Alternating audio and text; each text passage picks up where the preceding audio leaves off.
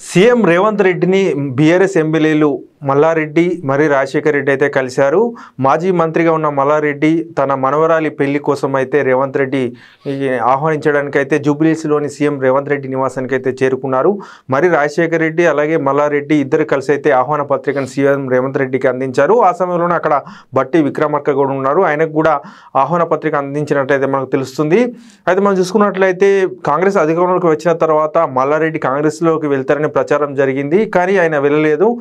మల్లారెడ్డి బెంగళూరులో అక్కడ deputy CM ఉన్న డీకే శివకుమార్ను కూడా కలిశారు. సో ఈ నేపథ్యంలో మల్లారెడ్డి తప్పకుండా కాంగ్రెస్లో చేరుతారని చెప్పేసి కూడా అప్పట్లో వార్తలు వచ్చాయి. అయితే దీనికి రేవంత్ రెడ్డి వ్యతిరేకత వ్యక్తం చేయడంతో అయితే మల్లారెడ్డి ఆగిపోయినట్లయితే అప్పట్లో వార్తలు కూడా వచ్చాయి. ఈ నేపథ్యంలో తాజాగా వీరిద్దరు అంటే మల్లారెడ్డి ఆయన అల్లుడు మళ్ళీ రాజశేఖర రెడ్డి ఇద్దరు ఎమ్మెల్యేలుగా ఉన్నారు. మల్లారెడ్డి మేడ్చల్ ఎమ్మెల్యేగా ఉంటే మరి రాజశేఖర రెడ్డి మల్కజ్గిరి ఎమ్మెల్యేగా ఉన్నారు. వీరిద్దరు కలిసి అయితే సీఎం రేవంత్ రెడ్డిని కలవడం చర్చనీయాంశంగా మారింది. అయితే ఇది కేవలం తన మనవరాలు పెళ్ళికి ఆహ్వానం పత్రిక అందించేందుకే సీఎం రేవంత్ రెడ్డి ఇంటికి వెళ్ళినట్లయితే మల్లారెడ్డి చెప్తున్నారు. అయినప్పటికీ కూడా మనం కొద్ది రోజుల క్రితం చూసుకున్నట్లయితే మరి రాజశేఖర రెడ్డికి సంబంధించి కొన్ని కాలేజీలు అయితే చెరువుకు దగ్గరలో చెరువులో కట్టినట్లు అయితే అధికారులు గుర్తించైతే కొంచెం కూల్చివేతలు కూడా చేపట్టారు.